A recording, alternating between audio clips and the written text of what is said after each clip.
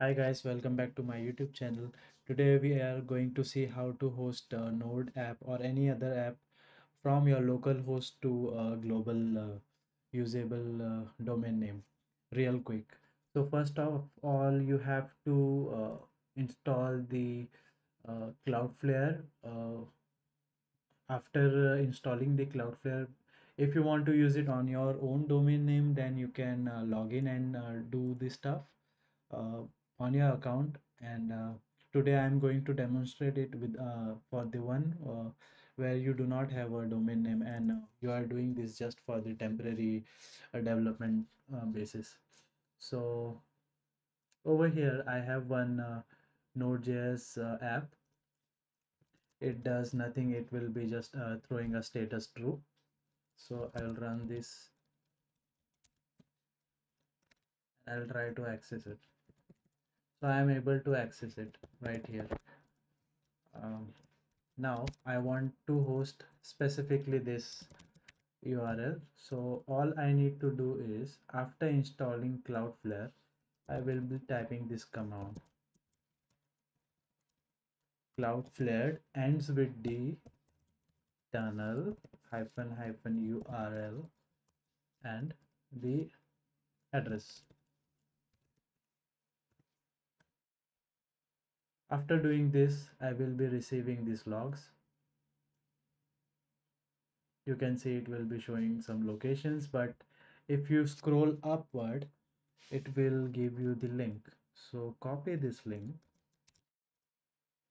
go to your browser, hit, and you will be able to see your output over here. If I refresh, I can again see the new time.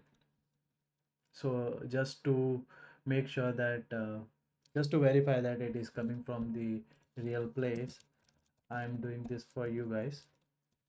Um, this is i'll just create a counter variable and uh, do the increment in it and also i'll log it over here.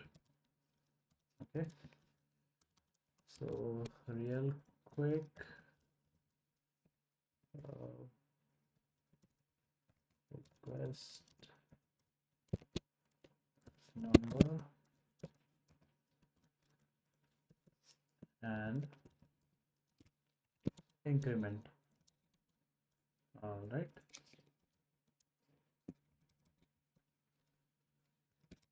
so firstly i'll try it from here.